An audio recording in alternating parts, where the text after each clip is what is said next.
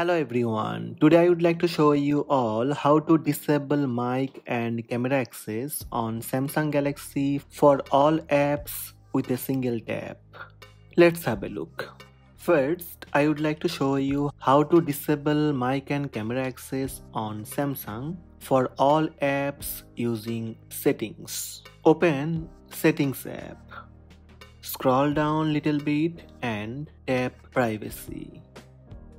Under controls and alerts, you will see camera access and microphone access. Simply turn off both camera access and microphone access. That's it. This will disable mic and camera access for all apps on Samsung Galaxy smartphone. Now I would like to show you how to turn off microphone and camera access with a single tap on Samsung Galaxy smartphone. First, swipe down twice to open quick settings panel. Now swipe right until you find plus icon. Tap plus icon.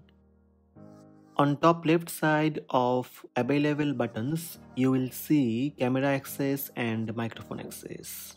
Now touch and hold to move the buttons. Tap and hold on camera access and drag it to quick settings menu. Then tap and hold on microphone access and drag it to quick settings menu. Tap done. By default, both the camera access and the microphone access option are turned on. Tap on them to disable it on your Samsung phone.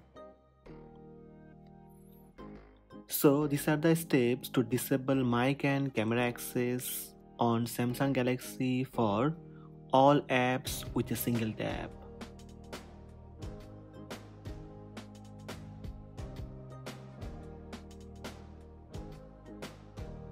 Hope this video help you. Please subscribe my channel by tap subscribe button also tap the bell icon to receive notifications about all new videos.